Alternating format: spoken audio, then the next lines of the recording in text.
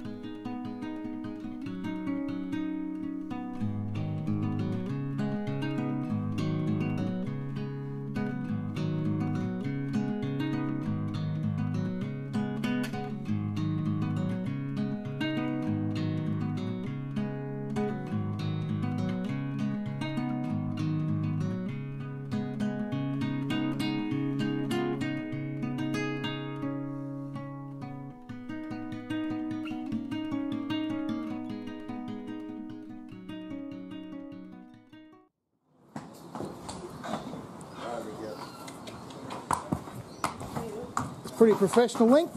Yeah, no, nice really, mate. Around good. How many times has she been to the track?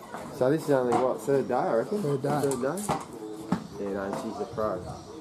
She went around like she's done it forever. Yeah, yeah, especially given, uh, you know, like when they get ye- uh, left on their own. Yeah. As a, she's only yearling. Yeah. Big effort. She gave a bit of an A out once, but then she was right as rain. No, good attitude, good temperament. And as you explained to me before off camera, she's got the big saddle on. She'll she'll So go she down goes a couple more days. She's going around that good. She'll probably go on the pad nearly tomorrow. tomorrow. So uh, yeah, big saddle. Normally give them about three or four days to a week. Just make sure they're you know, going around doing everything right. And then uh, into the track saddle and and give them another week or more, and then down to Matthew and Simon. Ooh, down to the big smoke. Yeah, so she, I, I, Matthew and Simon normally think they go two or three weeks, they? Yeah. Through the gate, she does all that well. She's yeah, just a good attitude horse, you know. So I like it with you.